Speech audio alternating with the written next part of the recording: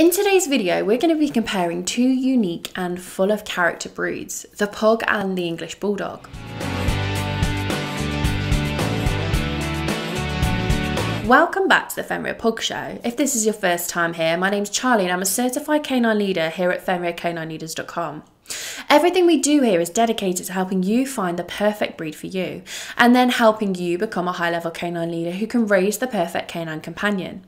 If that sounds like you, then make sure you hit the subscribe button and turn on the notification bell to make sure you never miss another upload of the Fenrir Pug Show. So let's dive into today's video and we'll take a look at the key similarities and differences between these two distinctive breeds. The origin of the pug dates back over 2,000 years ago in China. They were believed to be related to the Tibetan Mastiff. They were favourites amongst Chinese emperors and lived in luxurious accommodation. Pugs were closely held treasures, and the only way an outsider could acquire one is if they were gifted. Although the breed is over 2,000 years old, it took until the late 16th century and early 17th century for them to make it out of China and the Far East and start finding their way around the world. They started to appear in European countries thanks to Dutch traders, and they quickly became a favourite of European royalty. In Holland, they became the official dog of the House of Orange after reportedly saving the life of William, Prince of Orange. In France, both Marie Antoinette and Josephine Bonaparte owned pugs. They have a rich history in English royal families as well. Most famously, Queen Victoria had many pugs and she also bred them. They made their way to the United States after the Civil War and were first recognised by the American Kennel Club in 1885. The English Bulldog, on the other hand, descended from ancient Mastiff type dogs and was developed entirely in England. The very first mention of this breed was in the 1500s, where the dog was used in bull baiting, which was where the dog would grab onto the bull's nose and roughly shake it, which was thought to tenderize the bull's meat. The early bulldogs were much taller and heavier than the bulldogs that we have today. They were bred specifically for the bull baiting sport, with wide mouths, powerful jaws, and a high tolerance for pain. After several years of controversy surrounding the sport, in 1835 bull baiting was outlawed in England, and because at the time bulldogs were not seen as companions, there was a concern surrounding the consequences for the breed. However, many people admired the bulldog's incredible strength and persistence, so decided to save the breed through breeding them to have a sweet and gentle temperament instead of a tenacious and aggressive character that they were first bred to have. Breeders selected the dogs that had a more relaxed temperament for breeding and were able to turn the once aggressive breed into a gentle and affectionate breed. The pug is a small and sturdy dog with a barrel like appearance. They have relatively short legs and are known for their wide chest and flattened face. They're known for their deep wrinkles on their face and forehead. They also have a tail that has a natural curl, which may be one loop or two. Another distinguishing feature of the pug's appearance is the thumbprint. While this is not seen on every pug, this is a smudge on the back of the forehead. A pug has four basic colours fawn, silver, apricot, and black. Not all colours are recognised by different kennel clubs. Where the UK Kennel Club recognises all four, the American Kennel Club only recognises fawn and black.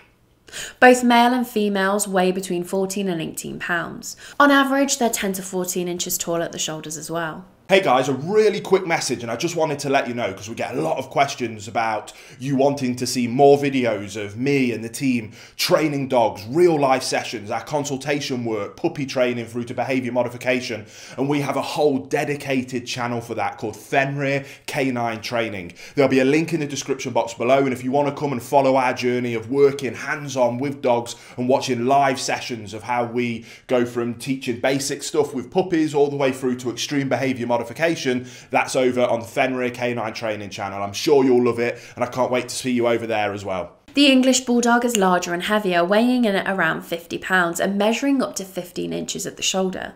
Females are usually smaller and lighter. Bulldogs have a short, straight, and smooth coat, which is generally very glossy in texture. They have heavy wrinkles covering their head and two loose folds on the throat, known as a dewlap.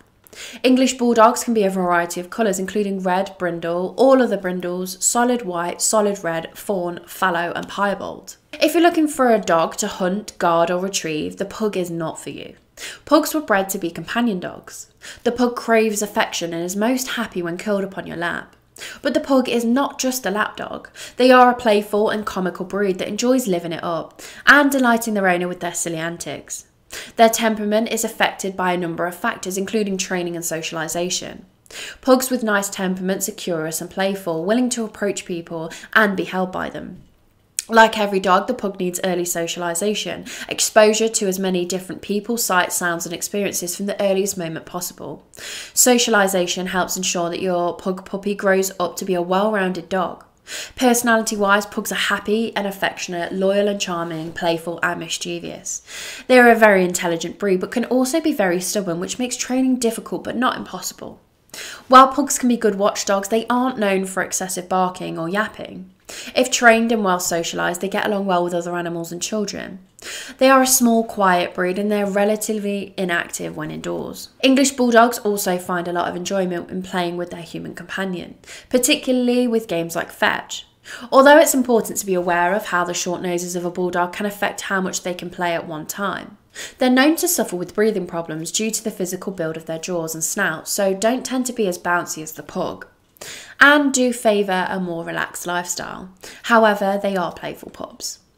The English Bulldog is very happy to cuddle up with you on the sofa and will happily laze around. There is something to be aware of though, as English Bulldogs can very easily put weight on and will happily be lazy dogs if they're allowed to be. It's super important to find a balance for this loving breed in terms of exercise, playtime, sleeping, and just general lazing around. English Bulldogs are highly renowned for their determination and character, but are also incredibly gentle and loyal, making them really good with kids. Although they can sometimes be quite boisterous when playing, this is so important to be aware of if you have young children that may accidentally get hurt. Pugs are known for their love of children and also make great playmates for kids. Due to their robust nature, they can handle playtime even when it gets a little rough. But it's essential to do proper training and early socialisation in order for them to know how they should behave. And it's also crucial to teach your kids how to behave around any dogs. It's important to always supervise playtime between your children and your dog to make sure that both parties know how they should behave with each other.